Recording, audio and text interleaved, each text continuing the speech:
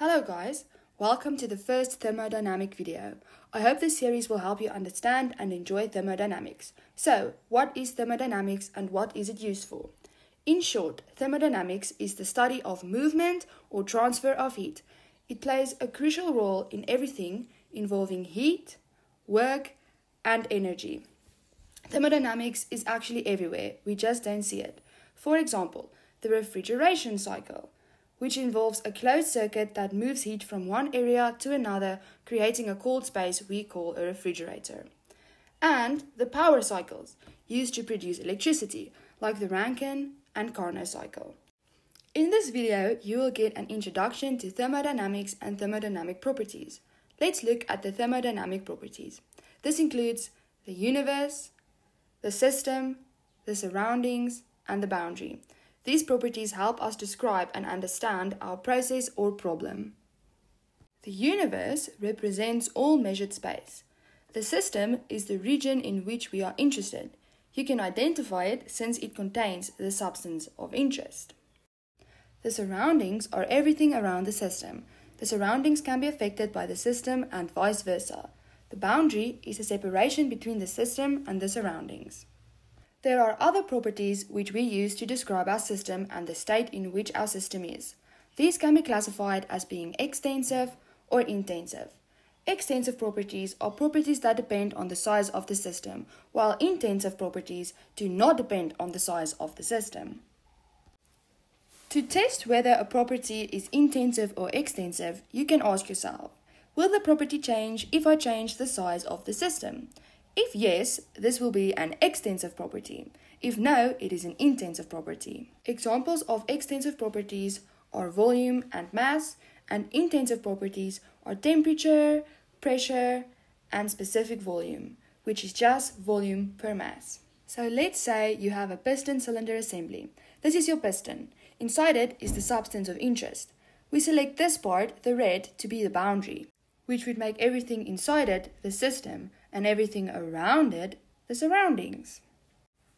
Then, based on your type of process, you can add heat to your system from the surroundings, which would change the intensive and extensive properties. It can increase temperature, increase volume or pressure, or your system can lose heat. In other words, from system to surrounding, which would again change some of your properties. But all of this depends on what type of system you have. There are three types of systems open, closed, and isolated. Closed systems have no mass flow but has energy flow. Secondly, is the open system, which has mass flow and energy flow. And lastly, you have your isolated system, which has no mass flow and no energy flow. And that is a full introduction to the thermodynamic systems and how to describe them. Let's look at some examples. Let's say you have a kettle boiling. Is it an open, closed, or isolated system? If it is an open system, there would be energy and mass flow. If it is a closed system, there would be energy flow but no mass flow. If it is an isolated system, there would be no mass and no energy flow.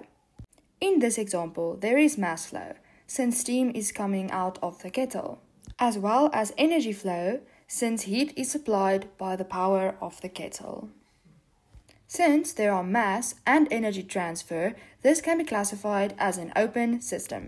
To be more specific, this is a transient open system, which just means the amount of substance going in is not the same as the amount coming out, but more on that later. Now, let's say you pour the boiling water into a cup and put a lid on it. What system is it then?